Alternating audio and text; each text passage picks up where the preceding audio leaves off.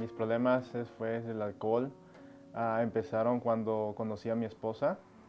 Ah, todo iba bien, éramos novios, una pareja feliz, pero al tiempo me involucré con los amigos, amistades, eh, me invitaron a fiestas, a paris, y fue cuando empecé a tomar que una, que dos, al punto de que tomaba yo todos los días, me iba a trabajar, ah, me iba al trabajo tomado, regresaba tomado, supuestamente mi esposa ya tenía la comida hecha para que comiéramos, pero yo me salía con los vecinos a tomar y ah, ah, era todos los días, ya era todos los días que tomaba yo.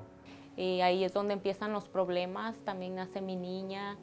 Igual mi niña este, va creciendo, pero con, problemas de insomnio, de pesadillas, hablaba sola y esos mismos ah, síntomas también tenía yo. Miraba bultos, eh, escuchaba voces, eh, no, pues sí, no dormíamos, era algo muy estresante y todo eso pues también me provocaba más, ah, más ansiedad, mal carácter, eh, era muy celosa, o sea, me provocó muchas inseguridades. Yo no me daba cuenta que yo hacía daño a, a mi esposa y a mi hija.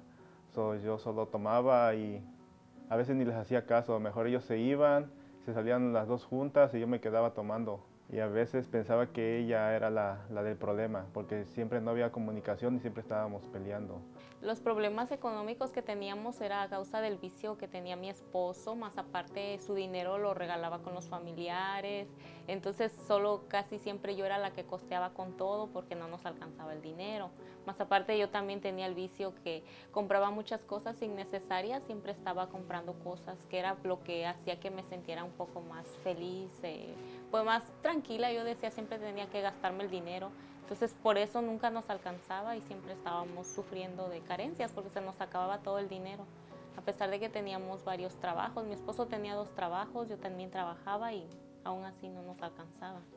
Eh, llega- llegamos al punto de que un día le dije a ella, ¿sabes qué? Mejor vamos a separarnos porque esto no es vida. Tú andas por un lado yo ando con mis amigos tomando, eso no, mejor hay que separarnos. Nosotros llegamos un domingo a, a este lugar y así lo primero que me llamó la atención fue que, sentí mucha paz, me sentí en un lugar muy tranquilo, lleno de paz, la cual no tenía ni conocía.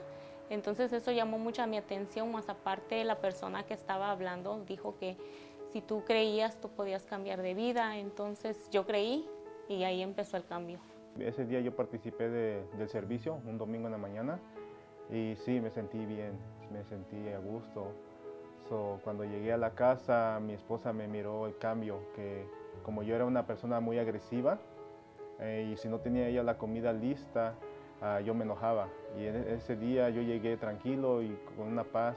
Empezó a haber comunicación entre mi esposo y yo, respeto. Mi niña también empezó a ser más feliz, una niña más, era muy callada, muy, muy seria, siempre estaba aislada. Empezó a ser, a- empezamos a comunicarnos más entre todos. Ahora mi, mi familia está bendecida. Ahora ya no tomo más, soy una persona feliz, valoro a mi esposa, a mi hija, los quiero mucho. Ah, gracias a Dios me cambió, soy un hombre completamente feliz con mi familia, ahora los quiero mucho.